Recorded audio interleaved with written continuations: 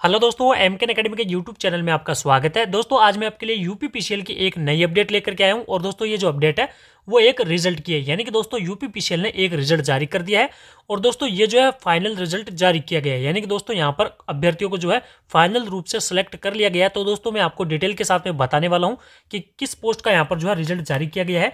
तो दोस्तों, पूरी जानकारी के लिए आपको ये जो वीडियो है, वो शुरू से अंत तक देखना है और पूरा देखना है। और अगर दोस्तों चैनल पर पहली बार आए तो चैनल को सब्सक्राइब करें और बेलाइकन को दबाएँ। तो चलिए दोस्तों, शुरुआत करते हैं वीडियो की। तो दोस्तों, आप देख सकते हैं कि यहाँ पर मैंने जो यूपी पीसीएल है, उसकी जो ऑफिशियल साइट है, वो ओपन कर ली है।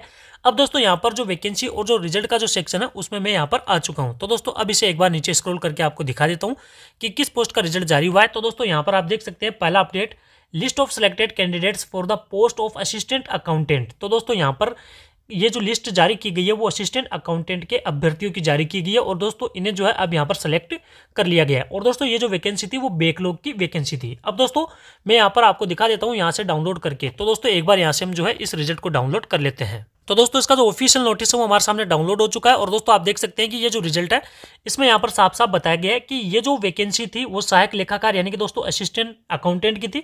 और दोस्तों, यानी कि बैकलॉग की वैकेंसी थी और इसकी जो सीधी भर्ती है दोस्तों उसका जो यहाँ पर जो सीबीटी का जो एग्ज़ाम है, वो तेरह नौ दो हज़ार इक्कीस को लिया गया था और साथ ही दोस्तों यहाँ पर जो है, फिर जो ऑब्जेक्शन लिंक है वो ओपन किया गया आंसर की जारी की गई और दोस्तों उसके बाद में ऑब्जेक्शन लेने के बाद में इसका जो दूसरा सीबीटी है वो हुआ और दोस्तों द्वितीय भाग होने के बाद में, यानी कि सत्रह बारह दो को जो है, यहाँ पर अभ्यर्थियों की जो सूची है वो जारी कर दी गई थी। और दोस्तों, यहाँ पर 28 बारह 2021 को इनका जो है डॉक्यूमेंट वेरिफिकेशन हुआ था। अब दोस्तों फाइनल रूप से इन अभ्यर्थियों को जो है यहाँ पर सेलेक्ट किया गया है, वो भी सहायक लेखाकार, यानी कि दोस्तों असिस्टेंट अकाउंटेंट पद के लिए।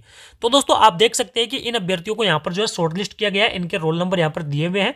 लेकिन दोस्तों, यहाँ पर कुछ अभ्यर्थियों को यहाँ पर स्टार लगा हुआ है। तो दोस्तों, आप देख सकते हैं, कई अभ्यर्थियों को यहाँ पर स्टार लगा हुआ है। तो दोस्तों, इसका मतलब यह है कि इन अभ्यर्थियों को अभी तक अपना जो जाति प्रमाण पत्र है या निवास प्रमाण पत्र है या फिर इनका कोई शैक्षणिक प्रमाण पत्र है, वो अभी अभी तक जो है जमा करवाना बाकी है।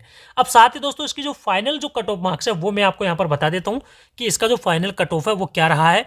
तो दोस्तों, आप देख सकते हैं कि यहाँ पर इसका जो कट ऑफ़ मार्क्स है, वो ओबीसी नॉन क्रिमिनल का जो है अट्ठानवे पॉइंट पचास पर रहा है। और साथ ही दोस्तों एससी कैटेगरी का जो है, यहाँ पर इक्यासी पॉइंट डबल ज़ीरो पर रहा है। और दोस्तों, यहाँ पर एसटी कैटेगरी का देखा जाए तो सतहत्तर पॉइंट पच्चीस प्रतिशत पर जो है, इसका फाइनल कट ऑफ़ मार्क्स रहा है।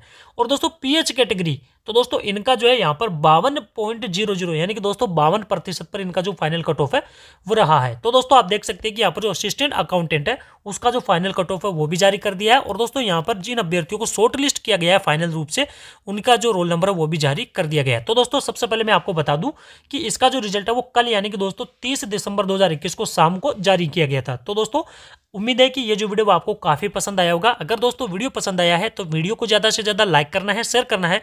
साथ ही दोस्तों, अगर चैनल पर पहली बार आए तो चैनल को सब्सक्राइब करें और बेलाइकन को दबाएँ।